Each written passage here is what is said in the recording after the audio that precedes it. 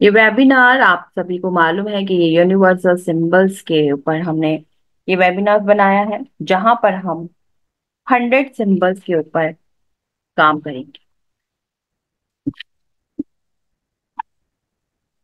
Hundred powerful symbols आप में से ज़्यादातर लोगों ने रेकी सीखा होगा और ज़्यादातर लोगों ने कुछ और मोडालिटी सीखी हुई होंगी। तभी आप लोग यहाँ पर आए। क्योंकि ये जो वेबिनार है, ये जो क्लासेस हैं, ये सिर्फ़ उन्हीं लोगों के लिए है जो लोग मास्टर्स हैं या फिर जो लोग ग्रैंड मास्टर्स हैं। मास्टर्स अगर इस कोर्स को करते हैं तो मास्टर्स के लिए केवल वो हीलिंग्स कर सकते हैं, वो किसी को सिखा नहीं सकते, किसी का शक्तिपात नहीं करते। अगर वो शक्तिपात करना चाहते हैं तो उनको ग्रैंड मास्टरशिप करनी पड़ेगी, जो हमारी, जिसको हम बोलते हैं टीचरशिप और अगर वो टीचरशिप में है ऑलरेडी टीचर है, पढ़ाते हैं स्टूडेंट्स को तो वो लोग भी इसको सीख सकते हैं, बड़े ही आराम से और बड़े ही आराम से वो लोगों को शक्तिपात दे सकते हैं। ठीक है? तो दोनों कैटेगरी में अगर आप मास्टर्स हैं या फिर आप ग्रांड मास्टर्स हैं, आप दोनों उसमें इसको सीख सकते हैं। सिर्फ़ फ़र्क इतना है कि अगर आप मास्टर हैं तो आप सिर्फ़ उसको हीलिंग के लिए यूज़ कर सकते हैं। ठीक है? तो आप लोगों में से बहुत सारे लोग रेकी से रिलेट करते होंगे, बहुत सारे लोग और दूसरी दूसरी मोडालिटीज को रिलेट करते मेरा नाम उपासना है। मैं इस प्लेटफॉर्म के अंदर रेकी ग्रैंड मास्टर हूँ। रेकी और रेकी से रिलेटेड जितने भी है, वो मैं यहाँ पे करवाती हूँ। प्लस मैं एंजल थेरेपी यहाँ पर सिखाती हूँ।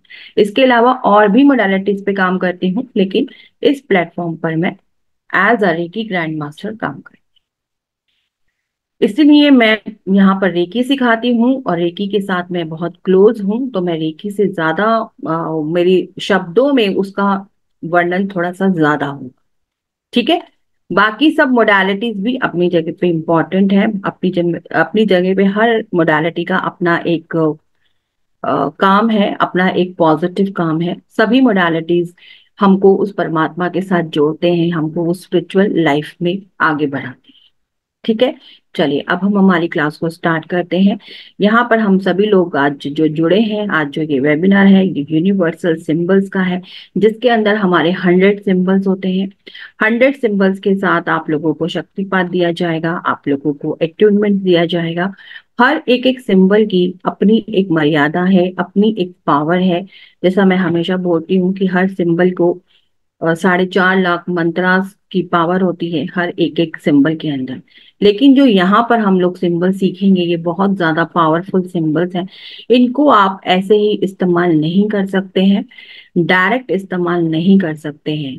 अगर आपके पास कोई भी पेशेंट जब आपके पास आता है तो पहले आपको उसको बैलेंस करना है। उसके बाद आपने इन सिंबल्स को यूज़ करना है। अगर आपको लगता है कि ये सिंबल की आवश्यकता है उसे इस्तेमाल करने के लिए तभी आपको ये सिंबल्स का इस्तेमाल करना है। अदरवाइज़ आपको ये सिंबल्स को तब तक यूज़ नहीं करना है, जब तक कि आपको ऐसा महसूस नहीं होता कि इसकी आवश्यकता है। जैसा मैंने बोला, क्योंकि ये एक पावरफुल सिंबल्स है।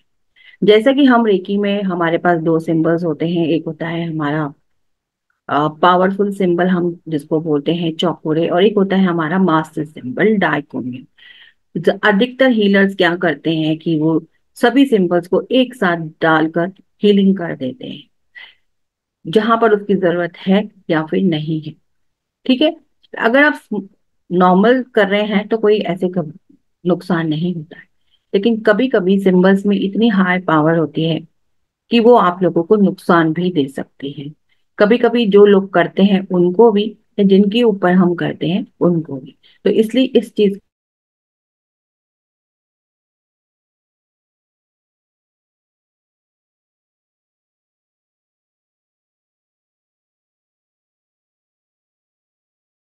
प्रैक्टिस करते जाएँगे, आपको इन चीज़ों की नॉलेज होती है। ऐसे भी यूज़ करेंगे तो उसका आपको नेगेटिव असर मिलेगा। नहीं नेगेटिव असर एकदम से नहीं आता है, क्योंकि ये कोई आपका तंत्र विद्या नहीं है, ये एक आपकी पॉजिटिव ये आपका पॉजिटिव हीलिंग है। इसके अंदर किसी भी तरह की कोई ब्लैक मैजिक वाला केस नहीं है कि आपको कोई डरने की ज़रूरत है, कोई घबराने की ज़रूरत है। लेकिन आपको खुद से मालूम चल जाएगा कि थोड़ा सा भी उन्नीस बीस का आपको डिफरेंस पता चलेगा कि यहाँ पर आपको इस चीज़ को इस्तेमाल करना है या नहीं। बट इसके लिए आपको सिंबल्स के साथ अपना कनेक्शन बनाना ज़रूरी है। इसके लिए आपकी प्रैक्टिस ज़्यादा होनी ज़रूरी है। तो जो लोग ज़्यादा प्रैक्टिस कर सकते हैं, वही इन चीज़ों को आगे अपने जीवन में उतार सकते हैं, अपनी हीलिंग कर सकते हैं, साथ में दूसरों की हीलिंग भी कर सकते हैं। इन सिंबल्स को अगर आप सीखते हैं तो इन सिंबल्स को आपको रोज करने की ज़रूरत नहीं है।